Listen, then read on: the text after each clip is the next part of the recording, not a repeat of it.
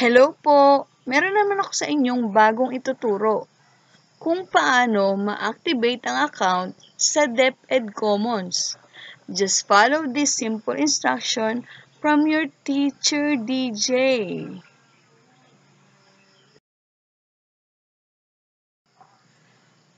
Narito ang mga hakbang kung paano tayo makapunta sa DepEd Commons account. Step 1. Pumunta sa Google search bar. Step 2. I-type at i-click ang Office 365 login or Microsoft Office. Step 3, i-click naman ang sign in at i-fill up ang email account. Para sa step 4, mag-sign in gamit ang inyong Microsoft email account.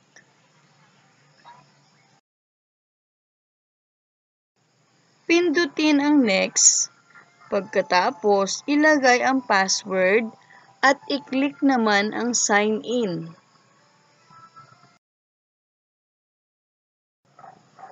Kapag nakapag-sign in na, hanapin ang Outlook at pindutin.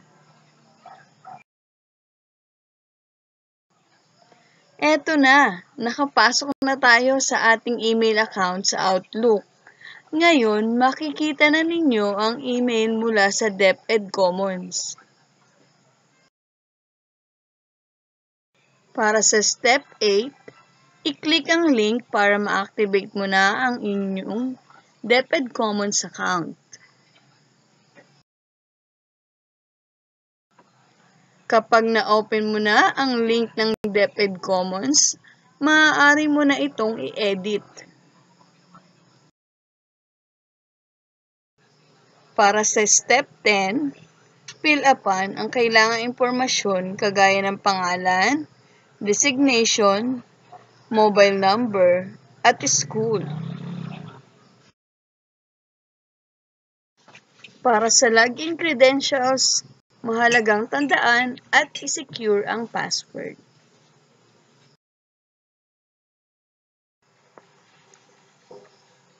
Binabati kita!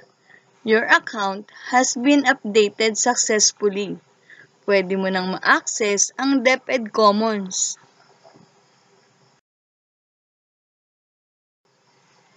Maraming salamat! Huwag kalimutang mag-subscribe sa aking YouTube channel at pindutin ang notification bell. See ya!